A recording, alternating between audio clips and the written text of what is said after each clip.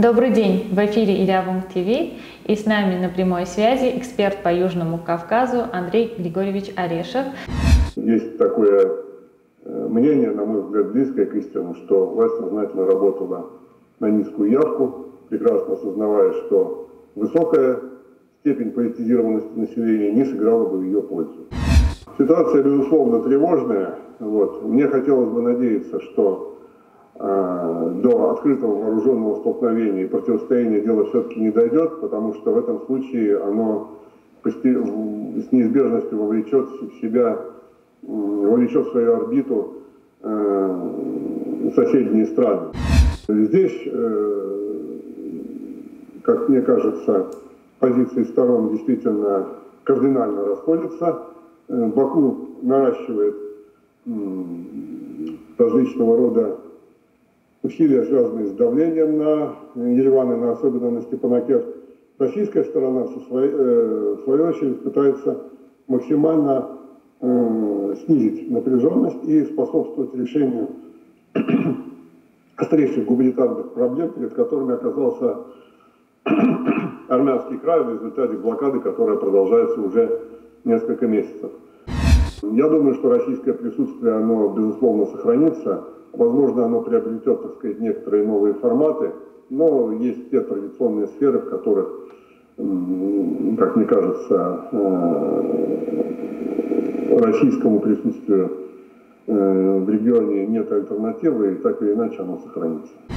Я думаю, что если бы э, те люди и те силы, которые вкладывают столь много интеллектуальных, организационных, информационных, материальных, каких угодно средств в распространение этой бредовой фейковой информации, если бы они все-таки занялись делом и э, направили бы их на созидание и на конструктив, то, уверяю вас, многие проблемы, которые мы обсуждаем в э, российско-армянских взаимоотношениях, уже успешно бы решались, если бы не были полностью решены.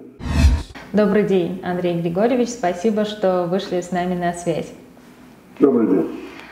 Андрей Григорьевич, вчера прошли выборы старейшин города Еревана, э, избирали мэра, и вот э, результаты очень э, были необычные, потому что явка была низкая, и несмотря на то, что многие ожидали победу правящей партии, этого не произошло, правящая партия не набрала 50%. А, оппозиция тоже, в принципе. Вообще, как вы оцените результаты этих выборов? Ну, большинство наблюдателей э, из Армении, с кем приходилось общаться и обсуждать эту тему, в общем, обращали внимание на э, вероятность низкой явки, как следствие, с одной стороны, усталости, апатия населения, определенной разочарованности ее, его в политике как Э, средств, эффективном средстве решения социально-бытовых и иных внешнеполитических проблем, которые стоят перед Арменией. Несмотря на то, что, конечно, выборы вроде как местные, но с другой стороны мы понимаем, что Ереван это почти 40% избирателей, 40% населения, и от них многое зависит во внешней, политике, во внешней политике и во внутренней политике особенно. Э, с учетом, так сказать, тех политических тяжеловесов, Э, с позволения сказать, которые от правящей партии, так сказать, э, баллотировались э, на этих выборах. Вот. С одной стороны, вот то, что я сказал, это апатия, определенное разочарование, а с другой стороны, конечно, мы понимаем, что действующая армянская власть, ну, как, наверное, любая власть, кстати говоря, поднаторели в средствах манипуляции, в способах воздействия на общественное мнение – ну, в данном случае э, есть такое э, мнение, на мой взгляд, близкое к истину, что власть сознательно работала на низкую явку, прекрасно осознавая, что высокая степень политизированности населения не сыграла бы в ее пользу. Ну и результаты мы видим, они э, такие, какие есть. Они, я так понимаю, не полностью удовлетворяют гражданский договор, потому что они, как, правило, как вы правильно выразились, высказались, э, не собрали абсолютного большинства. Но, с другой стороны, они, набрали больше всех и теперь, наверное, будут это использовать э, в своей пропаганде, в своей, так сказать, информационной деятельности. и будут всячески препятствовать формированию некой оппозиционной коалиции. Вот. Как мы знаем, партии, собравшие второе и третье место, занявшие второе и третье место, они, в общем-то, относятся к оппозиционным колоннам, ну, хотя это разнородные силы. Мы понимаем, что Национальный конгресс связан с Хайком Марутяном. Собственно, Хайк Марутян и сделал имя, насколько я понимаю, этой малоизвестной партии. Ну, мать Армения, блок, да, если я не ошибаюсь, блок Андроника Теваняна, он, значит, тоже не скрывает своих оппозиционных настроений. Вот. И, насколько я понимаю, э, для вот этого блока выборы в Ереване хорошая стартовая площадка для того, чтобы попытаться консолидировать здоровые э, оппозиционные силы э, в преддверии значит, парламентских выборов, которые, как мы знаем, в силу специфики политической системы современной Армении являются основным событием внутриполитической жизни этой страны. Э, вот мать Армения получил неплохой, как мне кажется, результат. И особо мне хотелось бы отметить оглушительный провал страны для жизни, да, партии, которая многими наблюдателями ассоциировалась с Рубеном Варданяном, э, политической силы, которая достаточно неплохие показатели, достаточно неплохо выступала на муниципальных выборах, э, на региональных, местных выборах в предшествующие годы. Вот. Однако сейчас, вот, если я не ошибаюсь, чуть более 3%, конечно, это такой серьезный показатель, свидетельствующий о том, что запрос Республики Армения на третью силу, которая не была бы связана, с одной стороны, с действующей властью, а с другой прямо не ассоциировалась бы с бывшими властями, он сохраняется, он по-прежнему актуален. А, говоря о внешней политике Армении, а, вот буквально на днях армянская сторона заявляла о серьезных разногласиях по пунктам мирного договора с Азербайджаном. А, наблюдается также скопление войск на границе с Арменией. Вот какие процессы сейчас происходят, потому что некоторые эксперты э, вообще говорят о возможном каком-то открытом военном конфликте? Да, ситуация, безусловно, тревожная. Вот. Мне хотелось бы надеяться, что э, до открытого вооруженного столкновения и противостояния дело все-таки не дойдет, потому что в этом случае оно с неизбежностью вовлечет в себя, вовлечет в свою орбиту э, соседние страны. Да? Мы знаем, что Исламская республика Иран выказывает непосредственную тревогу за южные границы Армении – и эта тревога выражается в том числе и в массированных передвижениях войск по берегам Аракса. Мы знаем, что Азербайджан действительно, наращивая вот, э, политическое и дипломатическое и силовое давление, частью этого давления являются тоже э, различного рода войсковые маневры. Ну, одновременно идет ни шатка, ни валка переговорный процесс э, на разных уровнях. Возвращаясь к первой вашей, части вашего вопроса относительно мирного договора, э, скажу откровенно, мне самому это интересно. Э, я пытался, так сказать, э, понять состояние данного э, трека, значит, и данного процесса в ходе различных мероприятий российско-армянского медиафорума, который состоялся, который проходил с 6 по 8 сентября этого года в Ереване, э, ну, я получил в определенном смысле подтверждение некоторым своим предположениям, э, которое заключается в том, что камнем преткновения по-прежнему остается карабахский вопрос. Армянская сторона настаивает в рамках признания территориальной целостности Азербайджана в бывших советских границах, бывших советских границах имплементацию международного механизма обеспечения прав и безопасности армян Нагорного Карабаха. Баку выступает категорически против этого. Э, это, насколько я понимаю, основной камень преткновения, э, на фоне которого другие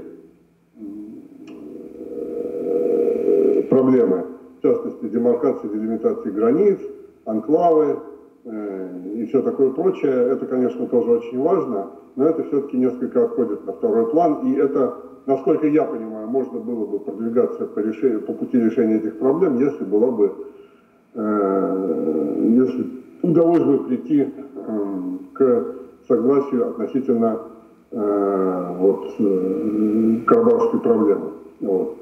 Э, здесь, э, как мне кажется, позиции сторон действительно кардинально расходятся. Э, Баку наращивает различного рода усилия, связанные с давлением на Ереван и на особенно на Степанакерт. Российская сторона, со своей, э, в свою очередь, пытается максимально э, снизить напряженность и способствовать решению острейших гуманитарных проблем, перед которыми оказался армянский край в результате блокады, которая продолжается уже несколько месяцев. Мы знаем, что определенные подвижки здесь есть, это прежде всего усилия российской стороны, которые начались не вчера, э, которые, возможно, не всегда имеют э, характер каких-то публичных переговоров, в отличие от широковещательных заявлений и действий иных западных политиков, американских, французских, эти заявления э, и широкие жесты не имеют реального продолжения. А российские усилия, несмотря на то, что они предпринимаются в крайне сложных условиях, их следствием являются, как мы видим, вот буквально события э, последних двух дней, э, все-таки частичное решение э, проблемы доставки гуманитарной помощи по обеим направлениям. И по афганскому направлению, и по Берзовскому и Лачинскому направлению. То, что российская сторона через Министерство иностранных дел на этот счет были публичные заявления, говорилось об этом с самого начала. Ну, мне очень хотелось бы надеяться, что этот процесс, э, так сказать, продолжится, э, что проблемы, гуманитарные проблемы, острый продовольственный кризис, возникший в Нагорно-Карабахской республике, на Горном Карабахе, э, в силу ряда обстоятельств, что он все-таки будет решаться. И э, мне очень хотелось бы верить в то, что э, здесь э, не, будет, не будут чиниться искусственные препятствия, не будет э, особых провокаций. Э, если не, про, не, не произойдет чего-то экстраординарного, э, то, мне кажется, этот вопрос может э, позитивно решаться. И Сейчас э, в условиях, так сказать, э, наступления осени, в общем-то уже холодов, если не холодов, то заморозков, э, что очень неприятно порой ощущается в этих горных краях, мы знаем. Вот. Это все, безусловно, крайне важно. А вот вы говорили про процесс переговоров. Недавно Турция выступила с предложением провести четырехсторонние переговоры Э, с их участием Армения, Азербайджан, Турция и Россия. Э, что это, новый формат переговоров или стремление вывести Иран из этого формата? Вот к чему вот это предложение? Ну, правильно, да. Э, правильно обратили внимание на отсутствие, на отсутствие Ирана в переговорном формате, предлагаемом президентом Турции Реджепом Таипом Эрдоганом.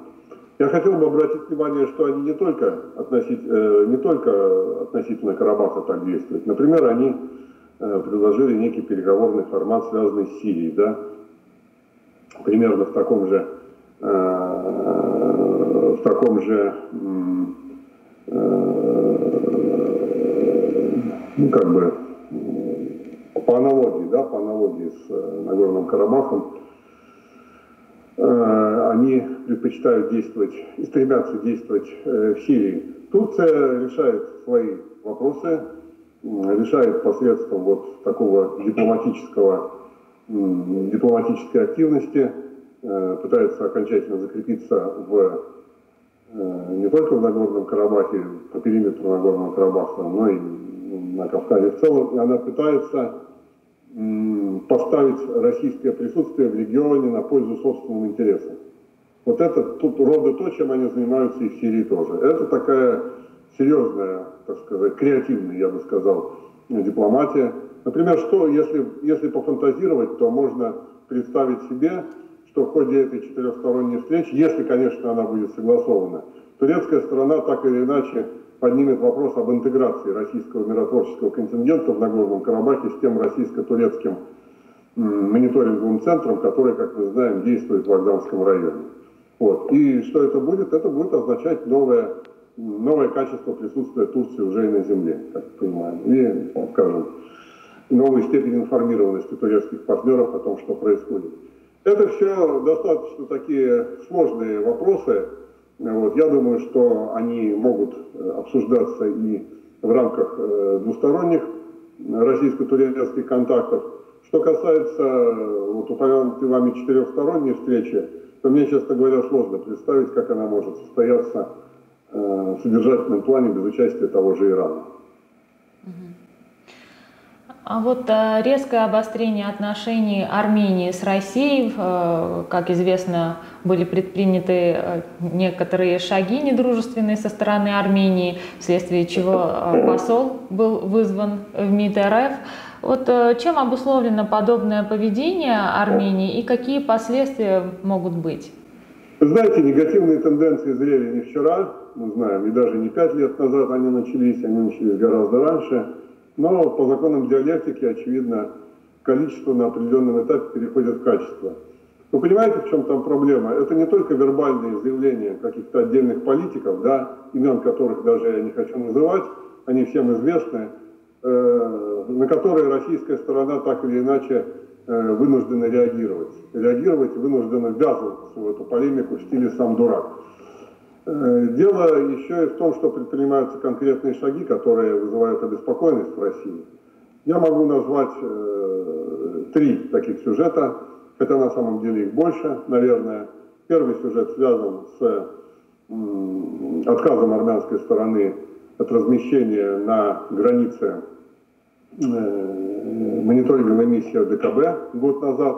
Мы понимаем, что это было сделано под политическим предлогом, под формальным предлогом, и уже тогда было ясно, что это сознательный выбор в пользу европейской миссии, европейской мониторинговой миссии. А европейская мониторинговая миссия в Армении является калькой с европейской мониторинговой миссией на Украине. А мы знаем, чем э, занимается и занималась европейская мониторинговая миссия на Украине и какие ее были геополитические приоритеты. Вот. Если этот инструмент внедряется в Армении и, так сказать, расширяется за счет новых офисов э, и прочих элементов присутствия уже непосредственно на земле, то мне сложно э, сказать, э, как это позитивно будет сочетаться с российским присутствием в Республике Армения. Наверное, рано или поздно здесь возникнут некоторые элементы противостояния. Мне очень не хотелось, чтобы Армения пошла в этом плане по пути Сирии, да, о чем сейчас, так сказать, э, многие говорят э, в таком уже достаточно прикладном пути, когда некоторые части национальной территории просто по факту не контролируются да, действующими властями. Это первый сюжет.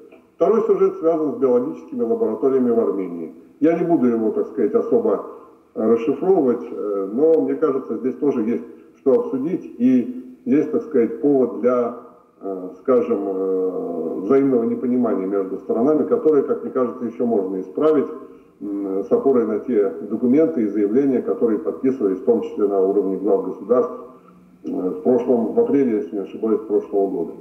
И третий, третий сюжет – это, конечно же, ратификация значит, Армении международного, римского статуса Международного уголовного суда – Э, мы знаем, какие соображения, какие аргументы звучат в Ереване на этот счет. Эти аргументы несостоятельны, как мне кажется. Уже не, хотя бы не только потому, что Азербайджан не является э, участником этого статута, вот, э, не является э, значит, объектом деятельности Международного уголовного суда, но и хотя бы потому, что подавать соответствующие иски можно даже не находясь в системе Международного уголовного суда. А их продвижение или не продвижение – это сугубо политический, геополитический вопрос. Так что это, э, этот шаг армянских властей, он, конечно, не может не рассматриваться в России в контексте той юридической войны, э, которая была развязана и продолжается Западом против России и ее руководства. Ну и это, безусловно, вызывает вопросы, это не способствует доверию в двусторонних взаимоотношениях. Вот. Некоторые сюжеты, на мой взгляд, искусственно преувеличиваются, в том числе и российскими средствами массовой информации.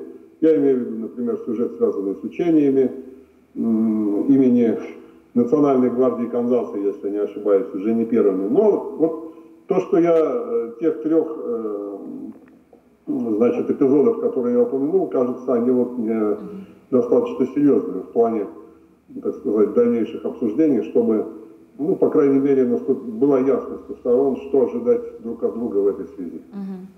А, вот э, вы сказали, вот эти, упомянули армяно-американские военные учения, а, то есть вы не считаете это чем-то таким а, сверх э, необычным. Тогда Пашинян это обосновал необходимостью диверсификации внешней политики и сферы безопасности. Эм, то есть... Ну, символи, символически понятно, что появление, так сказать, даже вот там, если я не ошибаюсь, два американских генерала, возможно, эти э, учения несут какую-то еще, так сказать, подкладку, э, что, кстати говоря, наши западные бывшие партнеры могут выкинуть, да, э, подкладку за рамками э, публичной легенды миротворчества, да, которыми эти учения уже не первые подобного рода мотивируются. Мы знаем, что Национальная гвардия Канзаса достаточно давно, так сказать, взаимодействует с, там, с миротворческой бригадой, с вооруженными силами Армении в целом. Э, относительно эм, значит, э, активизации э, двустороннего сотрудничества с Америкой да, и с другими странами, мне кажется, здесь важно направление реформирования вооруженных сил Республики Армения, чтобы они были так или иначе боеспособны. Да? Если ереване разочарованы в, значит, э, в России как в, э, в плане так сказать, безопасности военно-технического сотрудничества, то если мы увидим так сказать, четкую, э, четкую концепцию, ориентированную, скажем, на Запад, мы уже тогда будем делать значит, э, некоторые выводы. А так, мне кажется, здесь сохраняется некая амальгама, да, то есть, с одной стороны, э, с Россией связи окончательно не разрываются, с другой стороны, приобретаются некоторые образцы вооружений в Индии, да, натовского стандарта, если я не ошибаюсь.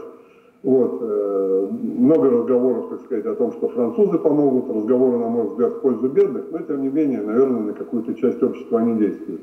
То есть, чем больше мы будем пребывать вот в состоянии такой э, неопределенности, и опять-таки, э, чем больше будет возникать разных вот таких непонятных вещей, тем, конечно, сложнее нам будет вести откровенный диалог А вот э, в интервью итальянскому изданию Пашинян заявил о постепенном уходе России из региона. Он также сказал, что однажды можем проснуться и увидеть, э, что Россия ушла. А может ли быть такое? Я не думаю, что Россия уйдет из региона. Э, вот, хотя, конечно, какие-то, так сказать, сферы взаимодействия с государствами бывшего советского Закавказья э, могут интерпретироваться по-разному, могут развиваться по-разному. Мы помним, как в свое время скоропостижно Россия вывела свои э, военные базы из э, Грузии. Да? С юго-запада Грузии, с Аджарии в первой половине 2000-х годов. Ну и мы видим, что это привело к неблагоприятным процессам, в том числе и военно-политическим, потому что святое место, как известно, пусто не бывает. Сейчас э, на Кавказе крайне сложная ситуация, э, мы это прекрасно понимаем, но помимо э, России и э, коллективного Запада, Европы и Соединенных Штатов, мы знаем, что э, достаточно серьезный интерес э, проявляют к региону Исламская республика Иран, Китайская Народная Республика, которая реализует крупные экономические проекты. Вот я так понимаю, что уже в Грузии и Армения на очереди. А это, так сказать, мы знаем, какое китайское посольство, кстати говоря, в Ереване, соперничающее по пространству, так сказать, с американским. Я думаю, что в формате э, формирующегося многополярного мира и тех новых альянсов, которые, в том числе с участием России и ее восточных и южных партнеров сейчас оформляются, Эм, я думаю, что российское присутствие, оно, безусловно, сохранится. Возможно, оно приобретет, так сказать, некоторые новые форматы, но есть те традиционные сферы, в которых, как мне кажется, э, российскому присутствию э, в регионе нет альтернативы, и так или иначе оно сохранится. Вот, э, в последнее время в армянском обществе активно муссируются слухи о возможном госперевороте. В связи с этим говорили даже о переброске 12 э, тысяч бойцов Вагнера. Э, вообще, с чем да. связаны эти слухи? Да, как раз эти слухи я хорошо помню. Они как раз э, были вброшены вечером 8 сентября в заключительный день работы вот, э, нашего российского армянского медиафорума, в котором и я принимал участие. И потом эти слухи совершенно абсурдные. Я тогда говорил об этом в прямом эфире одного из, э, значит, в прямом эфире одной из телестудий, что это слухи э, полностью лживые и значит, нацеленные на Э, дальнейшее, так сказать, э, усугубление негативного климата в российско-армянских российско взаимоотношениях. А то, какой канал их распространяет, опять-таки, мы все этот канал знаем, но мы не будем его рекламировать, но мы прекрасно знаем, с кем и с чем он связан. Да? Вот, они, э, так сказать, порождают определенные размышления на эту тему. И вот вы знаете, различного рода слухами ведь сопровождаются и сопровождалось сопровождались и ереванские выборы, значит, э, которые вот завершились накануне, слава богу, завершившиеся без стрельбы, без каких-то, так сказать, эксцессов. Но, тем не менее, эти слухи были. Они долетали и до Москвы тоже. Вот. Мы не будем указывать, опять-таки, пальцем на те силы, которые эти слухи распространяли, но, опять-таки, э, понимание этой динамики заставляет задуматься о многом.